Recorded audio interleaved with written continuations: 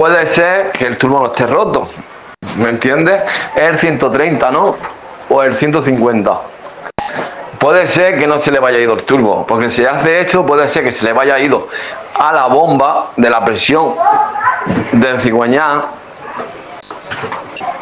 y no le, de- le- y, le, y le deje el, el turbo que, que no le haga hace gur, gur, gur, gur, gur, como bujear la, el aceite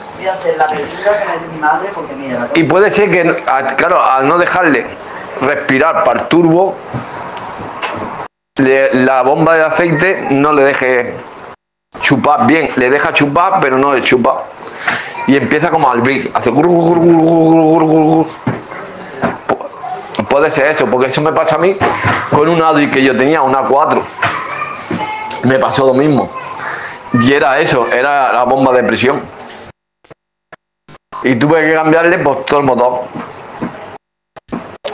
Porque ya las camisas de, del cigüeñal la engrasaba y, los segmentos.